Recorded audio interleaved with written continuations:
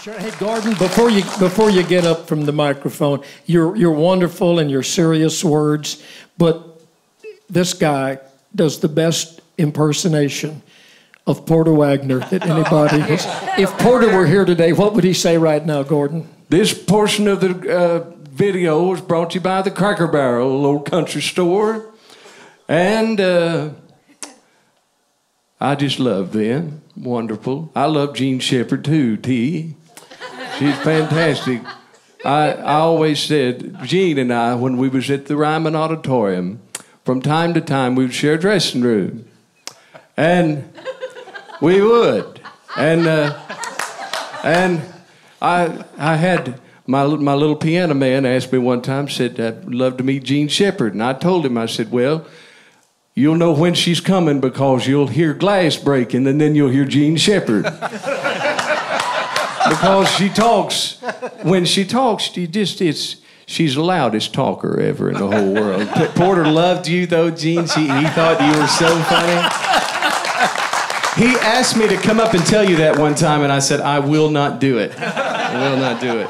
But Porter loved all you guys, and it's we miss him very much. There's not a day that goes by that somebody doesn't ask me a question about Porter. Uh, Bill, you, I, I'll tell you one quick Porter story. And I think I've told you this story before, but the first night I ever met you um, was the night that I played the Opry with Porter for the first time. We were at the Ryman, and that day I was so excited. That whole week leading up to it, I was so excited about playing the Opry with Porter that I forgot to get my wife and my mom tickets for the show. And so Saturday morning, I'm panicked because mom's in town and she's expecting to go sit at the Ryman, and the tickets are all sold out. I get on the phone, there are no tickets.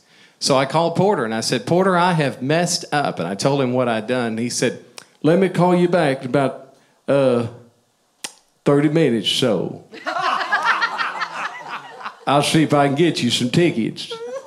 So he calls me back in about 30 minutes and he said, I got you four tickets. That's what you needed? And I said, Hoss, you are awesome. How in the world did you get four tickets for a sold out show? He said, Oh, it was easy.